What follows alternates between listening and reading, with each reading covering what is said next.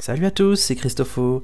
Dans ce nouveau tutoriel sur la création de jeux avec Solarus et Solarus Quest Editor, je vais euh, un petit peu vous expliquer la notion de terrain, les propriétés de terrain, en particulier des tiles.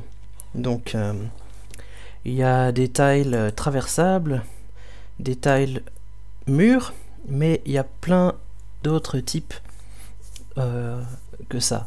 C'est pas juste obstacle ou traversable. Euh, donc on va faire un, petit exemple de map extérieure parce que c'est... On pourrait peut-être aussi le faire en intérieur, il y a comme la plupart des choses dans les deux. Euh, grounds, terrain en anglais. Alors, taille set extérieur, donc on va mettre la musique qui va avec. Et puis on va faire une petite map d'exemple pour expliquer ce que sont les différents terrains, les différents types de terrains. Donc euh, par exemple si on fait une falaise, hop, je mets une destination, je vais aussi dire à ma sauvegarde de démarrer sur la map qui s'appelle Grounds sans préciser la destination, puisque comme il y en a une seule, il n'y aura pas d'ambiguïté.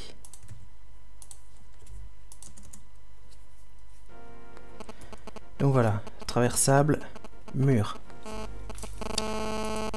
Alors, euh, les tiles peuvent se superposer les uns aux autres. Par exemple là, ces trois-là, ils sont au-dessus de celui-ci ils sont quand même tous ils sont quand même tous dans la même couche. Ils sont tous sur la couche 0. Euh, simplement, ils ont, ça n'empêche pas qu'ils aient un ordre. Et donc, euh, sur une couche donnée, si vous voulez, ben, pour définir le terrain de chaque euh, case, le tile qui gagne, c'est celui qui est au-dessus des autres. Le terrain est défini sur chaque case de 8 par 8 en fait. Donc ça veut dire que si vous mettiez... Alors je fais CTRL G pour afficher et désafficher la grille. Hein. Ça veut dire que si vous mettiez euh, un morceau d'herbe euh, comme ça au-dessus de la falaise, en quelque sorte c'est comme si ça effaçait la falaise. Maintenant, on a maintenant un tile ici qui est au-dessus du mur.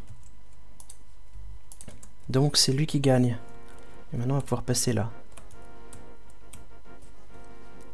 C'est ce petit stratagème qui a été utilisé en fait euh, sur cette map. Ce mur là il fait tout le long, mais il y a une porte euh, qui est en, premier plan si, vous voulez par rapport au mur.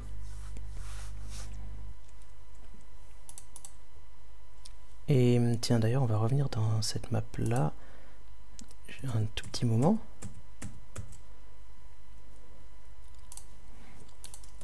Parce que la porte elle est intéressante. J'en ai pas trop parlé, mais euh, c'est on a ici une, deux couches différentes.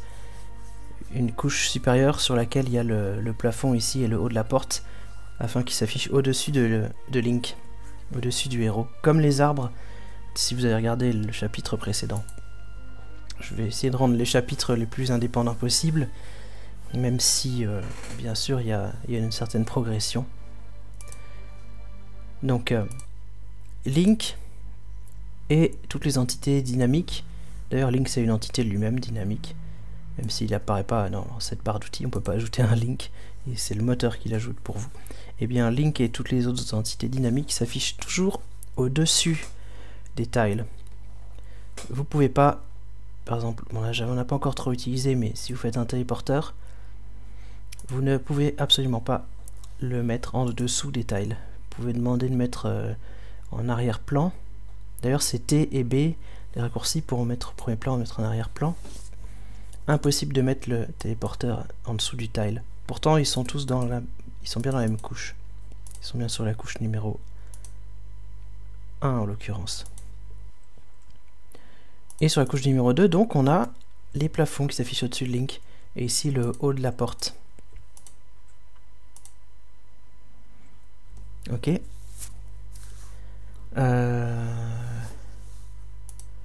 Voilà, donc euh, pour revenir sur mettre au premier plan, mettre en arrière-plan, par contre ici ça va marcher. Si vous sélectionnez celui-ci et que vous appuyez sur B, il va s'afficher, il va repasser derrière le mur. Donc maintenant c'est le mur qui gagne. Et si j'ai CTRL Z, il revient, j'annule. Ok. Si vous voulez qu'on... Ouais, non, c'est bon. Allez, je supprime ça. Ici, qu'est-ce que j'ai changé au final? J'avais ajouté un téléporteur, je l'enlève. Donc, euh, on a vu deux types de terrains jusqu'ici, les murs et les traversables. On a vu que euh, les, ceux qui sont en premier plan gagnent toujours sur une couche donnée. Euh, ensuite, bah, donc, je, disais, il y a d'autres euh, types de terrains, par exemple ça. Comment ça marche les murs diagonaux, à votre avis? On va essayer de rendre ça un tout petit peu joli quand même, avec des falaises comme ça.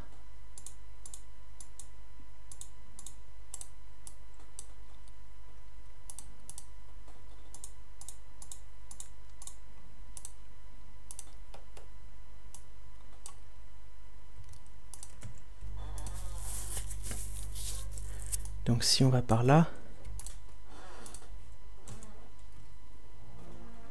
Mince, je suis pas sur la map que je voulais.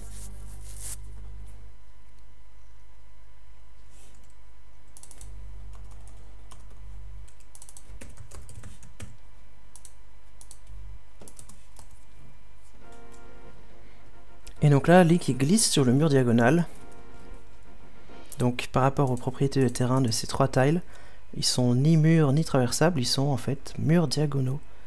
Si vous éditez le tile 7, vous pouvez faire ça depuis ici, ou alors depuis tile 7 et puis vous l'ouvrez là, double-clic, Light World. Donc, nos bouts de falaise c'est bien des murs, nos bouts d'herbe traversables, et les murs diagonaux, et, eh eh bien ils ont une propriété de mur diagonale haut-droite. Donc pareil, il existe au gauche, bas gauche, bas droite. Après on a les tiles d'eau on peut faire de l'eau profonde ou de l'eau peu profonde. Donc, tous les terrains restants, ils sont euh, assez proches de ce qu'on peut trouver dans Zelda. Donc euh, vous avez aussi des murets qui eux peuvent être traversés par les projectiles. Comme les... Si vous lancez des flèches par exemple, ça passe au-dessus, mais le héros lui ne peut pas passer. Euh, et vous avez vide. ça c'est un petit peu particulier, c'est pour dire qu'il n'y a vraiment rien du tout. Euh, ouais, vide, on verra après. On va, je vais vous montrer les trous. Hop, ça c'est un trou. Dans le tile 7, terrain de type trou. Je vais vous montrer l'eau peu profonde. Et ça, l'eau peu profonde. Alors il y a des bordures avec pour faire la jonction entre l'eau et l'herbe un truc un petit peu joli.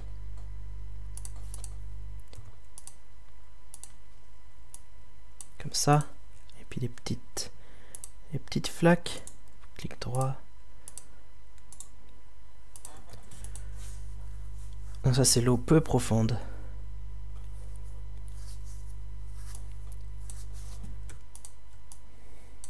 En fait on va faire comme ça et puis on va Peut-être même prolonger avec de l'eau profonde qui est celle-ci.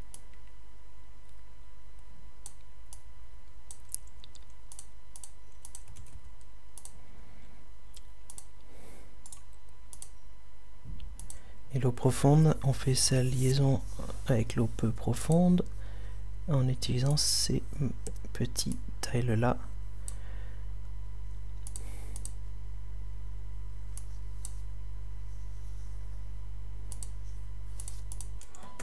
Donc là, j'ai déjà ajouté trois types de terrain nouveaux. Je peux vous montrer ce que ça donne. Là, le moteur pour ce type de terrain-là, il va reproduire un... Il limite un comportement qui ressemble beaucoup à, Zelda Link to the Past. Donc quand vous approchez du trou, euh, vous glissez un petit peu et il faut résister. Et si vous résistez pas assez vite, vous tombez dans le trou et vous perdez de la vie. Et si vous marchez dans l'eau, donc l'eau peu profonde, là c'est vraiment comme dans Zelda euh, Link to the Past. Ça fait un petit son et ça ajoute des petites flaques sous les pieds de Link. Et enfin l'eau profonde, et eh ben vous vous noyez tout simplement. Et donc là avec le pack Link to the Past, vous avez exactement les sons et les, animations de, de Zelda 3.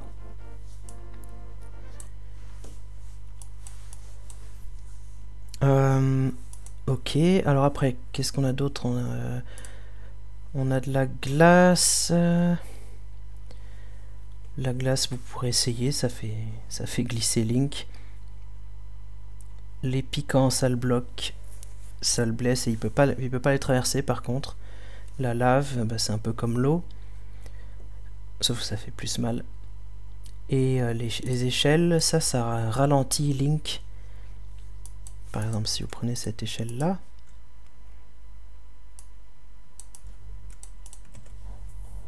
ça va le ralentir. Je sais pas si vous vous en apercevez ici. Ça n'a pas d'autre fonction que de le faire ralentir. Hein. Il n'y a, pas, a pas de changement de couche automatique ou quoi que ce soit. Ok. Et puis, alors, euh, ouais, vide. Euh, pour vous expliquer vide. C'est vraiment un cas très particulier, vide. Donc là, je refais un arbre euh, avec donc les feuilles qui vont être sur la couche supérieure. Et je remets ça pour qu'il passe pas à travers, comme on avait vu dans le chapitre précédent. Alors on a vu que quand Link est sur une couche supérieure, si jamais il tombe plus bas, automatiquement il tombe sur la couche inférieure. Pourquoi il tombe sur la couche inférieure? Parce que le terrain euh, de la couche numéro 1, celle-ci c'est la couche 1, bah là il est traversable, là il est traversable, mais après il est plus traversable, il est vide. Donc il tombe. Donc traversable, vous pouvez marcher dessus, mais c'est quand même du sol, c'est-à-dire que vous ne tombez pas plus bas. Si vous amusez à faire un truc très moche comme ça.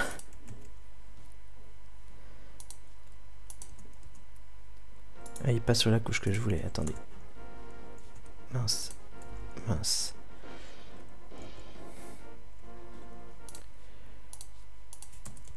Traversable.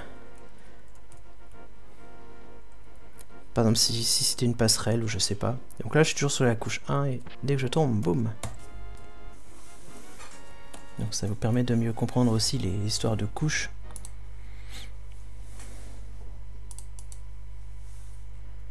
C'est très moche d'avoir pris ça comme type de tile quand même.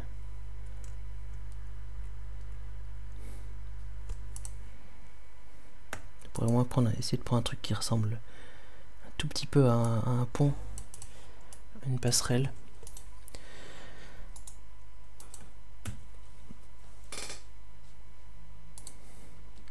Donc quand il n'y a rien, il tombe parce que c'est de terrain vide. Là, il traversable et là, il tombe. Et alors, les, les tiles de type vide, ça, vous en aurez pas quand même pas souvent besoin. Mais euh, c'est si jamais vous vouliez mettre un décor juste ici, mais que Link continue à tomber quand même. Par exemple, euh, je sais pas, un, nuage ou un, un, drapeau, quelque chose euh, qui est qui fait que Link passe à travers quoi. Et tombe en dessous, c'est possible. Je crois pas avoir d'exemple là sous la main. De toute façon, c'est vraiment pas le plus important. Allez. Hop, on revient là. Euh, et donc, euh, bah, je crois qu'on a fait le tour des explications concernant les terrains. Bien sûr, les plus utilisés, c'est traversable et murs. Souvent les murs diagonaux aussi. Vous avez aussi des murs diagonaux, mais pour faire la jonction avec de l'eau. Euh, c'est ceux-là, en fait. Celui-là est de type muret, par exemple. C'est-à-dire que vous pourriez lancer, euh, le jour où on fera des armes, vous pourrez lancer des, flèches au-dessus. Ou le, faire passer le boomerang ou le grappin au-dessus. Si ça vous plaît pas, euh, vous, mettez, vous pourrez mettre mur à la place. Donc c'est vraiment vous qui pouvez euh, personnaliser les propriétés de chaque tile dans l'éditeur de tileset. Ok. Euh, voilà pour ce petit tuto sur les terrains. Euh, j'espère que c'était clair. N'hésitez pas à mettre un like si ça vous avait été si ça vous a été utile.